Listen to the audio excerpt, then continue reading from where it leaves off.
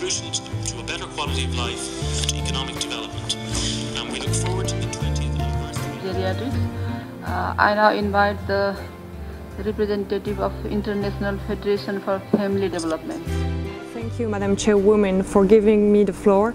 Thank you also to all the members of the Bureau, distinguished delegates, translator and conference room managers who will be delivering our oral statement. Considering the agreed working definition that says that empowerment is the expansion of the capacity, volition and vision necessary for people to become effective agents of human well-being, the discussion of empowerment by this Commission is expected to focus on the participation in decision-making processes by all people as an integral element of development, as an effort in order to achieve the Millennium Development Goals, the main framework for 2015 development. From our NGO experience, we think that every human being is unique and trying to address empowerment one by one can become more difficult than to address family units directly. What we propose is to empower families through the four dimensions of empowerment. On one hand, the social recognition as the first level for family empowerment, as families are the ones that find the barriers that should be removed to, uh, to have active participation in society. The economic help, such as tax benefits, parental leave entitlements, educational grants, at the second level for family empowerment, and especially nowadays, as we all know that family coverage continues to be a key element in the analysis of interrelations between economic context and the dynamics of social exclusions, particularly in countries like Spain. Finding other resources to substitute work income may be vital. One in five households with total family unemployment includes someone over 65. In these families, the grandparents' pension may become an essential resource for the survival of the whole family.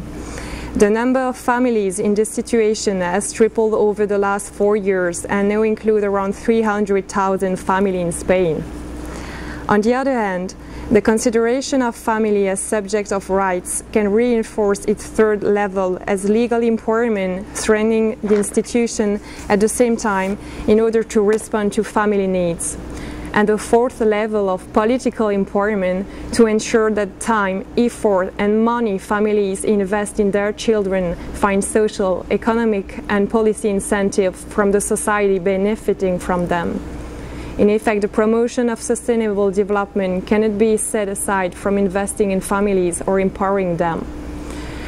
Talking about our activities and because of our general consultative status at ECOSOC, we feel particularly responsible for promoting and supporting each one of these actions included in the preparation of the 20th anniversary of the International Year of Family.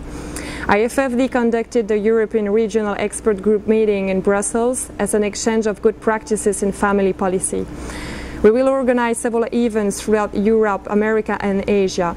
In terms of research activities, the Federation publishes papers on a monthly basis that aim to analyze and precisely determine the main challenges families are facing nowadays.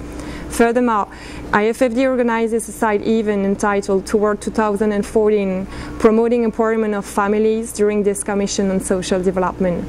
In the same line, we are launching a declaration of the civil society, which promotes, among other recommendations, the idea of the above-mentioned Global Family Impact Report that should be promoted by government at an international level. I thank you.